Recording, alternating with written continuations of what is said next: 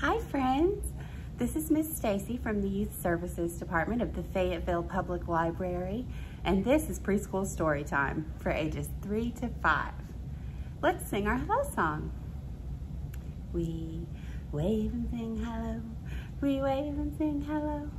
With our friends it's story time, we wave and sing hello. We clap and sing hello, we clap and sing hello. With our friends it's story time, we clap and sing hello. We wink and sing hello, we wink and sing hello. With our friends it's story time, we wink and sing hello. Good job, friends. Today's story time is about horses. You can see I've got a couple horse friends joining me. And if you wanted to say horse in American Sign Language, what you do is you put your right hand against your head like this. Make sure these two fingers are down and these are up. And we're gonna pretend like this is the horse's ear and the ear is gonna flick away a fly by going. That's how you do horse. Horse. Good job, friends. Our first story today is called Cowboy Ned and Andy by David Ezra Stein.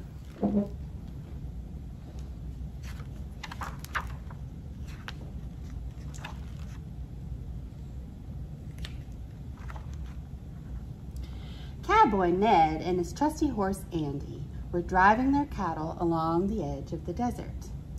They rose before dawn and woke the cows. The day grew hot. They moved in a long train over the dusty earth. At noon, they drank from a cool river.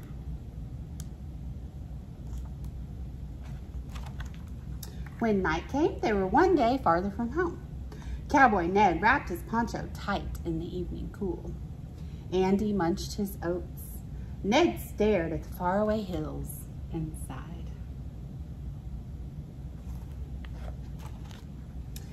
Tomorrow is my birthday, Andy. I'll be another year older and no one is around to celebrate. I miss my sister, Nedna, my brother, Nedrick, and my mother. We just call her Ma. Well, I'm glad you're here, Andy. Good night. He quenched the campfire and they lay down in the dark and quiet.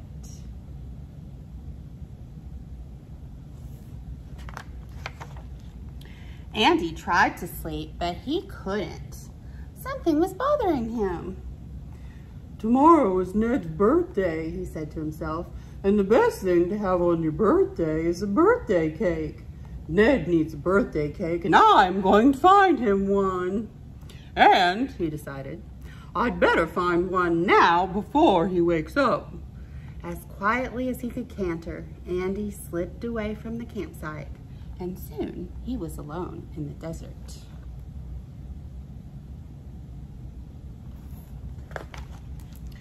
On the breeze, he heard a shrill song. It was a cricket singing on a rock. Good evening, said Andy. And would you have such a thing as a birthday cake? I need one for my friend, Cowboy Ned, so he can have cake on his birthday No, said the cricket in a wispy voice. All I have in the world is my song. And he went on singing.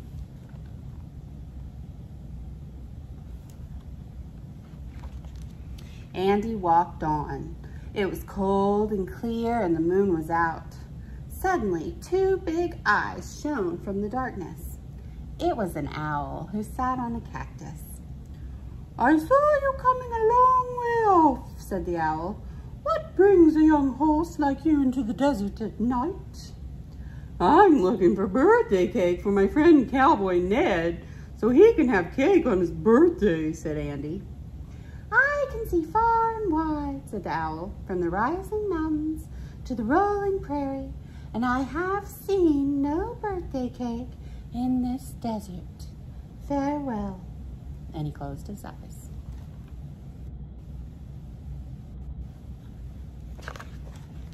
Andy walked on. He was far from camp now, and it seemed that dawn was close at hand. Oh, how I wish I had a birthday cake for my friend Cowboy Ned, so he could have cake on his birthday, said Andy. Just then, a voice came from the dusty rock below. Who's that cluttering around in the sky? It hissed. It's me, Andy, the dapple gray steed, said Andy. He looked down to find a scorpion at his feet, surrounded by stones.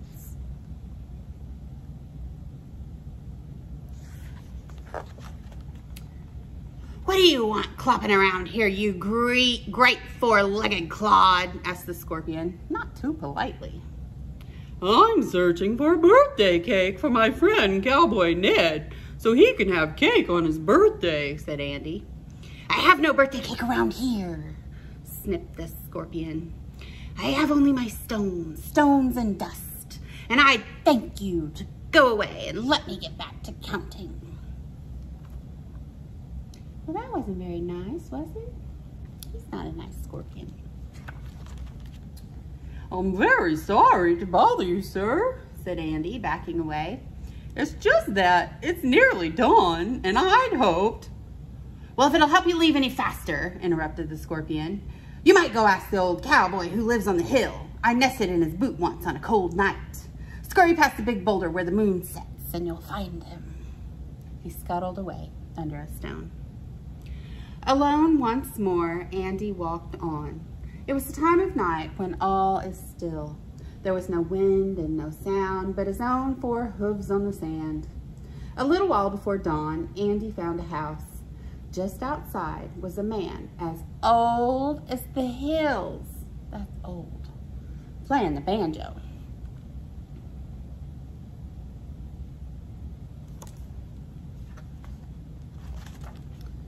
Good evening, sir, said Andy. Or morning, as it may be, he added a bit nervously.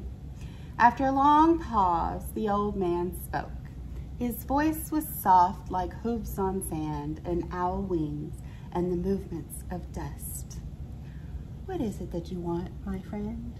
he asked. I'm searching for a cake for my friend Cowboy Ned so he can have cake on his birthday, said Andy. I have no cake, said the old cowboy. Out here, there would be no one to share it with.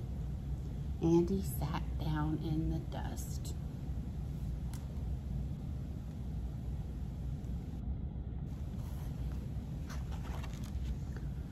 All I wanted was to give my friend Cowboy Ned a birthday cake so he could have a happy birthday, he said. But now it's too late Is a cake only thing that would make Ned happy? asked the old cowboy. Andy thought. He thought of a little house out in the desert and stacks of rocks and wind and the campsite far away. No, he said. A cake is very nice to have, but the best thing to have on your birthday is a friend to share it with. I should never have left. A horse doesn't leave his cowboy halfway down the trail. The old cowboy smiled at Andy. Sounds like the best present you can give Ned, he said, is to be with him on his birthday. Now go to your friend before dawn.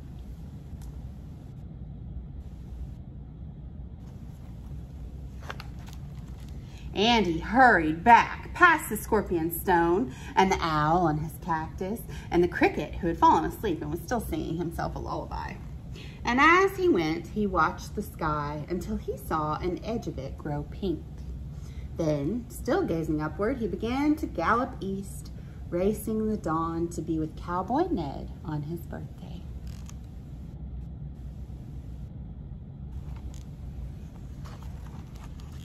At the campsite, he found Cowboy Ned and all the cows waiting for him. The sun was coming up. It was Ned's birthday.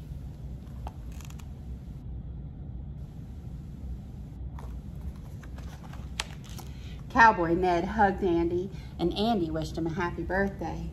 And all the cows sang a birthday song in their low and gentle voices.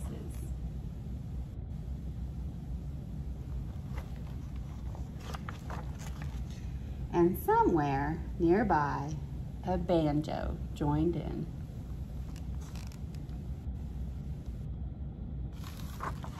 The end. Right, friends, that was a fun story. Now let's sing a song.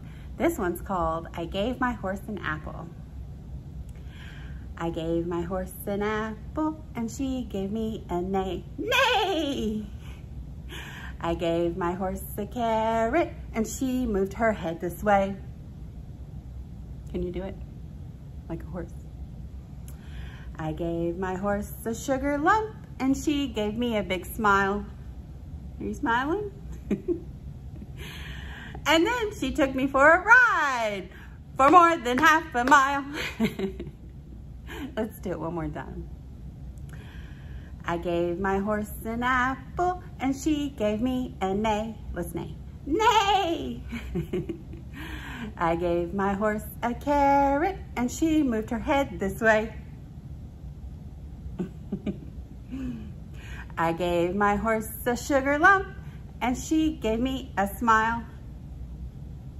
And then she took me for a ride for more than half a mile. Good job, friends. Our second book today is called Are You a Horse by Andy Rash.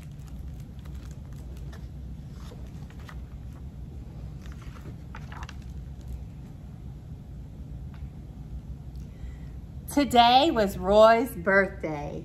His friends made a cake and gave him a great big birthday present. I like getting presents. What's this thing? Roy asked his friends. It was a saddle. And luckily, it came with instructions. One, find a horse. Two, enjoy the ride.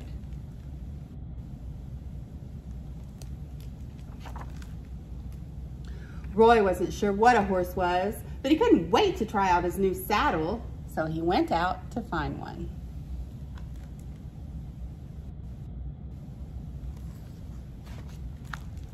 The first thing Roy came to was Squeaky and Rusty. Are you a horse? He asked. Nope, I'm an old wagon, said the wagon. A horse is a living thing. Next, Roy came to a tall, prickly thing. Are you a horse? He asked. I bristle at the thought. I'm a cactus, said the cactus. A horse is an animal. Roy has no idea what a horse is. Is that a horse? After that, Roy saw a wiggly, hissing thing. Are you a horse? he asked. Oh, legs. I'm a said the snake.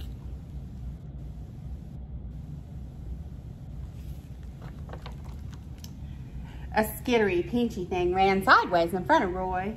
It had plenty of legs. Are you a horse? he asked. A horse. I'll pinch you good. A horse is friendly. I'm a crab, said the crab. Now go away. Well, that's not very nice, is it? Roy saw a climbing, bug-eyed thing smiling at him. Are you a horse? he asked. I can be green or brown or purple, it said. But can you be a horse? Roy asked. No, but a horse can't change colors like me. I'm a chameleon, said the chameleon. See, they're different colors. You've got purple ones, orange ones, green ones. Pretty neat. Roy came to a tree with a feathered hooding thing on its branch it didn't turn green or brown or purple. Are you a horse? he asked. Who, me? Indeed not. A horse doesn't lay eggs. I am an owl, said the owl.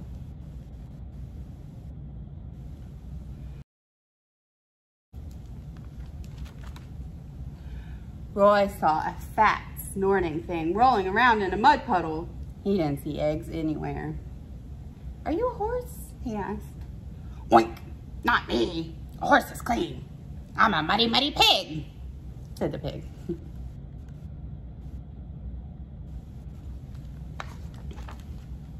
Roy spotted a furry, upside down thing hanging from a branch. It looked pretty clean. Are you a horse? he asked. A horse is very, very fast. I am a sloth, said the sloth. And look at the pictures here. All that time it took the sloth to say one sentence, it got night, it became dark. That's a long time. Look at Roy yawning. Next, Roy saw a romping, growling thing. It was very fast. Are you a horse? he asked. A horse eats grass. I'm a man-eating lion, said the lion. Are you a man? The lion asked Roy. No, said Roy. I'm a cowboy. And Roy ran away as fast as he could. I think I'd run too. After that, Roy came to a quiet black and white thing eating grass. You must be a horse, said Roy. I'm not a horse, I'm a zebra, said the zebra. A horse doesn't have stripes. Roy was very upset.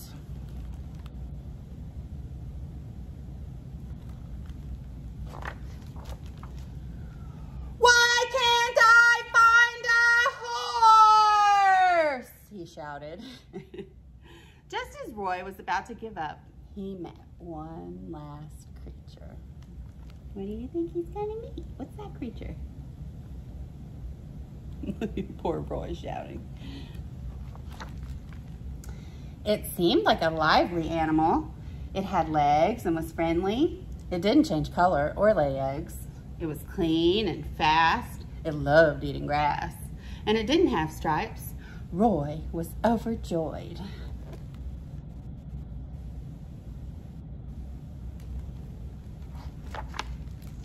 Are you a horse? asked Roy. Of course, said the horse. Well, I have a saddle, said Roy. Would you like to go for a ride? Yes, said the horse. Look how happy they are. And so they did. What do you see there? Who's wearing the saddle? They've got the saddle on Roy. Is that right? Is that how that happens? Look at that. The horse is riding Roy. That's so silly. The end. All right, friends. Now it's time for some finger play.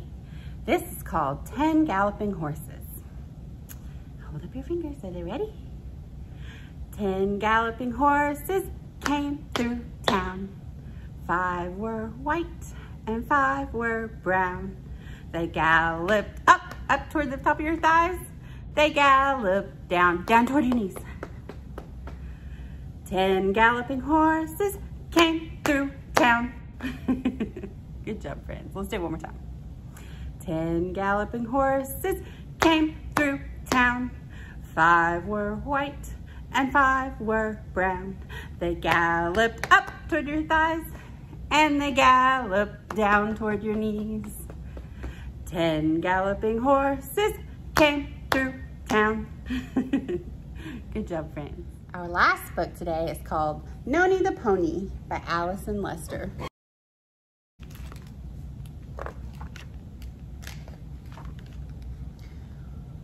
Noni the pony is friendly and funny. Her shimmering tail is the color of honey. Look how pretty she is. She lives on a farm at Waratah Bay and likes eating apples and carrots and hay. Look what a nice place she lives. Noni the pony likes trotting and prancing and the ladies next door always moo when she's dancing.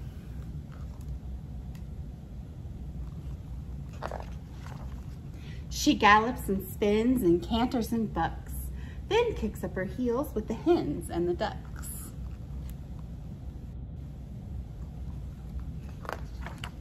Noni the pony is shiny and fat. Her best friends are Dave Dog and Coco the cat. I think the dog matches Noni. They ambush each other and play hide and seek, racing and chasing and jumping the creek. Look at this path. Look at Noni. She goes meow, meow, meow, meow.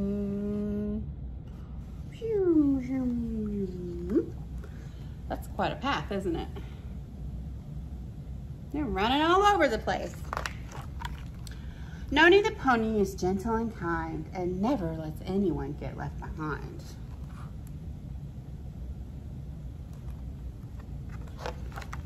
If Coco and Dave feel lonely or gray, Noni tells stories to brighten their day.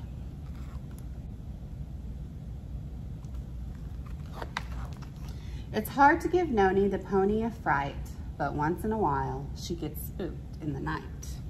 Do you get spooked in the night sometimes? It's easy to do. When the leaves rustle and sigh in the breeze, Noni thinks monsters are shaking the trees. Look at this picture. What do you see here? Look at real close. Look at that. What's that? Can you see it? There you go. Looks like a smiling monster shaking the trees. That's what Noni thinks is there.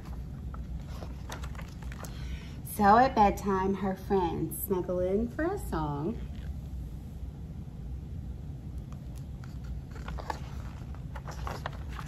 Then Noni the pony sleeps tight all night long. Look, her friends are there for her, so she's not as scared. Isn't that nice? The end. And our craft today is how to make your very own craft stick puppet horse. Look at mine, he's galloping. He's gonna turn around and come back the other way. And you can create all kinds of stories out of this. You can create different sets and backgrounds, make up all kinds of stories and plays, and you can make other craft stick puppets. So you have all kinds of characters in your play. Here's how you can make your own. I used a couple shades of brown, a craft stick, glue stick, pencil, Sharpie, and some scissors. I started by drawing the rough shape of a horse's head with an ear poking out the top that would fit around my craft stick. And then I cut it out and traced it so that I had two. And then I cut out the second one. After I cut out the second one, I laid it on the darker shade of brown paper and traced how I wanted my hair to look. And then I do one, did one for the front. I cut those out and glued them on the back side of one sheet of paper, and then I glued it to the craft stick. I added glue to the second piece of paper, and I glued it to the first sheet of paper. I added a little dot for an eye on both sides, and then I added a nose and a mouth. And there you have your horse. All right, friends. Thanks for joining me for this story time. Let's sing our goodbye song. We wave and sing goodbye we wave and sing goodbye. With our friends at story time, we wave and sing goodbye. We clap and sing goodbye. We clap and sing goodbye. With our friends at story time, we clap and sing goodbye. We wink and sing goodbye. We wink and sing goodbye. With our friends at story time, we wink and sing goodbye. We'll see you next time.